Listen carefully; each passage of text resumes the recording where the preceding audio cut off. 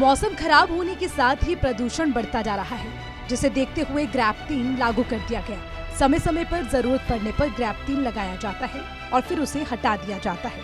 फ़िलहाल B S three petrol और B S four diesel वाले वाहनों पर रोक लगा दी गई है, जिसके बाद से गुरुग्राम ट्रैफ़िक पुलिस की ओर से चालान काटे जा रहे हैं। वाहन रनिंग कंडीशन में नज़र आते ही चालान काटे जा रहे हैं, जिसके बाद से वाहन चालकों की परेशानी बढ़ती नज़र आ रही है।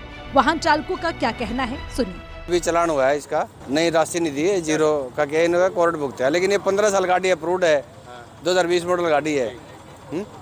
और ये करेगा चल नहीं चलेगी। तो ये गलत है ना फिर कानून। या तो गाड़ी के रजिस्ट्रेशन उतना ही करो ना जितने साल चलनी है। नई गाड़ी है कोई पुरानी नहीं। सर अभी चलान तो नहीं हुआ लेकिन मेरे पास बी एस फोर गाड़ी है वो है डीजल की।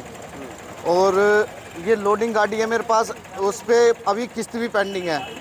अगर जो सरकार ने रूल चलाया है अगर मैं उस गाड़ी को खड़ी कर देता हूँ तो उसकी किस्त कहाँ से पे करूँगा? अगर किस्त पे नहीं करूँगा तो फाइनेंस वाले उठा लेंगे।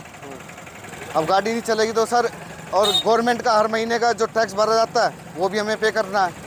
वो सारी चीज़ें हमारे से पे करवाई जा रही है, उसके बाद भी हम गाड़ी नहीं चला पा रहे। तो ऐसे हम क्या करें, बताओ? वहीं पूरे मामले में गुरुग्राम पुलिस ट्रैफ़िक अधिकारी ने जानकारी देते हुए कहा कि कल रात 12 बजे के बाद साइबर सिटी गुरुग्राम में ग्रैप तीन लागू कर दिया गया था। जिसके तहत विभागीय आदेशों के चलते साइबर सिटी के तमाम पॉइंट्स पर चालान किए जा रहे हैं।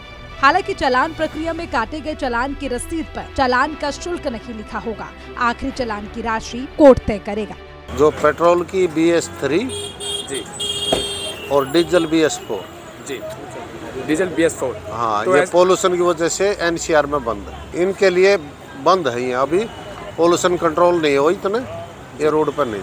नहीं, जब तक पोल्यूशन सरकार के आदेश है, जब तक ये आदेश चलते रहेंगे, चलान होते रहेंगे।